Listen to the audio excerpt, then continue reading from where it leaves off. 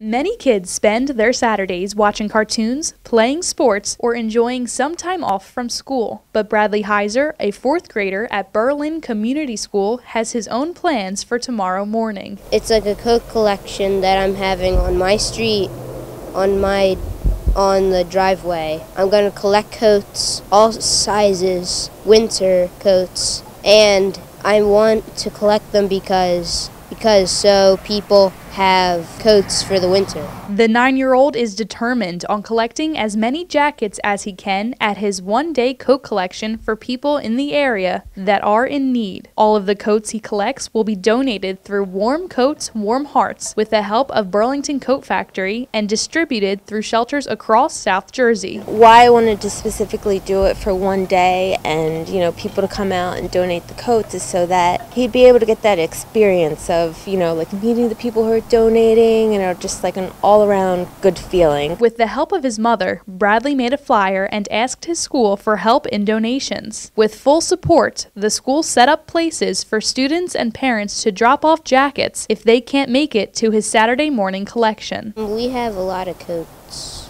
There's like three bags in this elementary office and then there's a couple in the middle school office. For the past five years, character education has been just as important as our academics here at BCS. We're very proud of Bradley that he's taken service learning to the next level and is able to give back to his community. You know, it touches your heart that you know that your child's a good person and you want them to grow in that way. 223 West Broad Street in Berlin is where Bradley will be all day tomorrow collecting coats right here in his own driveway. Come by and donate a coat to help keep someone warm during the season of giving. I'm Nina Barati for SNJ Today.